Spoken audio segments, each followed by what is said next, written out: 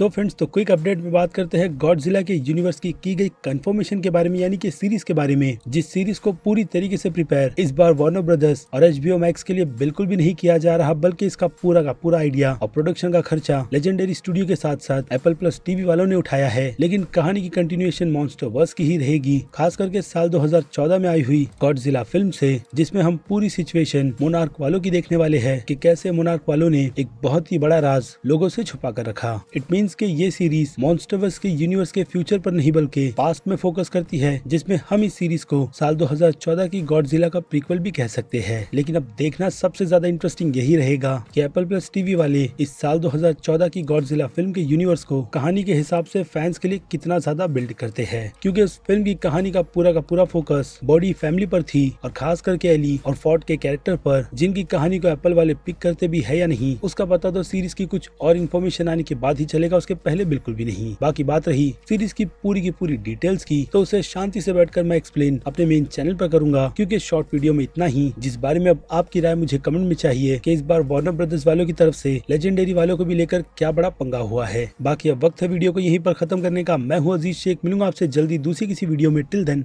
bye